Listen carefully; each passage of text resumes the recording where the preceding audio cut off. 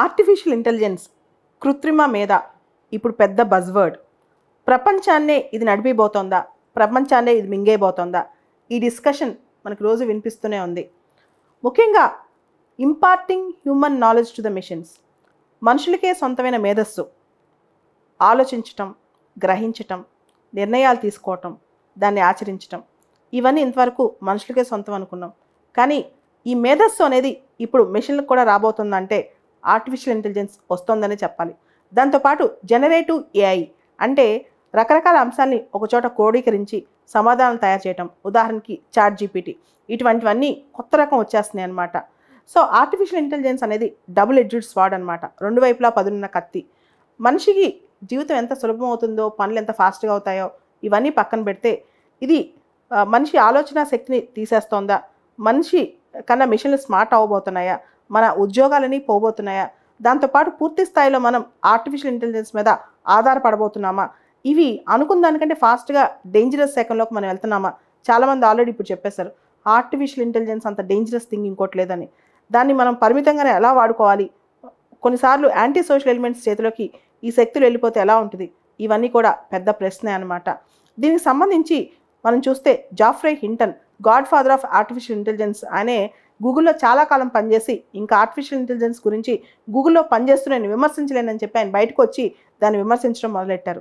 అంతేకాదు పెద్ద పెద్ద టెక్ జైన్స్ వీళ్ళందరూ కూడా ఇలాన్ మస్క్ లాంటి వాళ్ళందరూ కూడా కనీసం ముందు ఆరు నెలల పాటు ఆర్టిఫిషియల్ ఇంటెలిజెన్స్ మీద మానిటరింగ్ విధించి దానిపైన వచ్చే దానివల్ల వచ్చే విష పరిణామాలను చర్చించిన తర్వాత దానిపైన కొన్ని ఆంక్షలు తీసుకొచ్చిన తర్వాతే ఆర్టిఫిషియల్ ఇంటెలిజెన్స్ని ఎలా చేయాలని చెప్పి కూడా వాళ్ళు కోరటం జరిగింది. ఈ నేపథ్యంలో గత వారం పది రోజుల్లో మనం చూస్తే ఆర్టిఫిషియల్ ఇంటెలిజెన్స్ సంబంధించి చాలా చర్చ బయలుదేరింది. దాంతోపాటు ఆర్టిఫిషియల్ ఇంటెలిజెన్స్ గురించి రెండు ఇంపార్టెంట్ ఈవెంట్స్ జరిగాయి.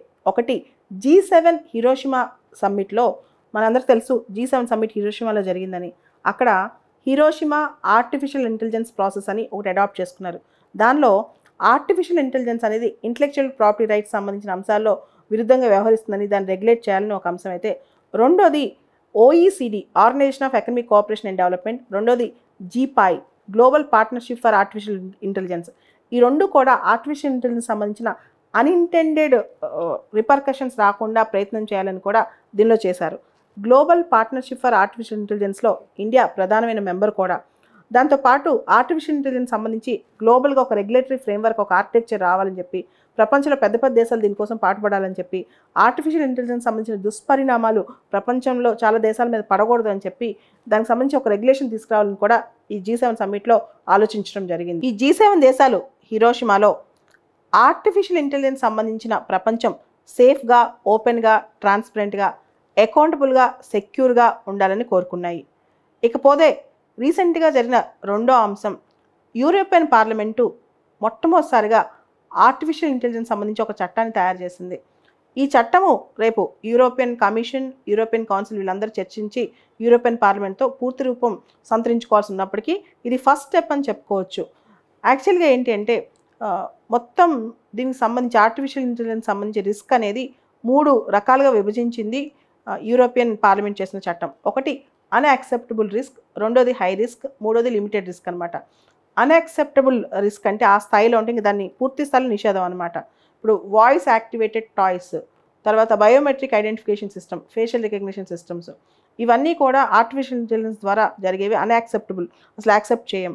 హై రిస్క్ అంటే ఇప్పుడు జనరేటివ్ అయ్యి చాట్ జీటీపీటీ ఉంది. దానివల్ల జరిగే నష్టాలు అనమాట తర్వాత వయలేషన్ ఆఫ్ ఫండమెంటల్ రైట్స్ మన ప్రాథమిక హక్కుల ఉల్లంఘన ఆర్టిఫిషియల్ ఇంటెలిజెన్స్ వల్ల. లా ఎన్ఫోర్స్మెంట్ క్రిటికల్ ఇన్ఫ్రాస్ట్రక్చర్ ఇవన్నీ కూడా.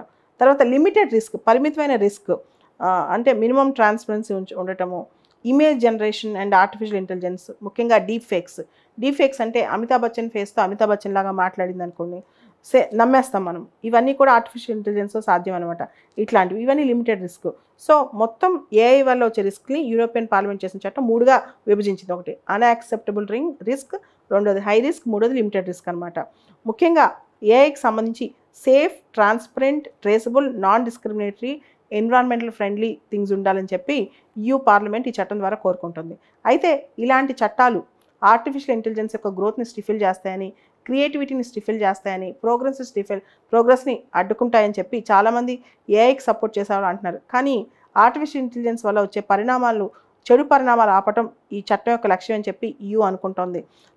ఈ యూరోపియన్ యూనియన్ గమనిస్తే కనుక ఏ ఇలాంటి కొత్త ఏ జరిగినా సరే ఫస్ట్ టైం యూరోపియన్ పార్లమెంటే ముందు రియాక్ట్ అవుతుంది అనమాట ఉదాహరణకి ప్రైవసీ లాస్ సంబంధించి టూ థౌజండ్ సిక్స్టీన్లో వచ్చిన general data protection regulation rules అని చెప్పి కొన్ని తీసుకొచ్చింది యూరోపియన్ పార్లమెంట్ పది సంవత్సరాల క్రితం.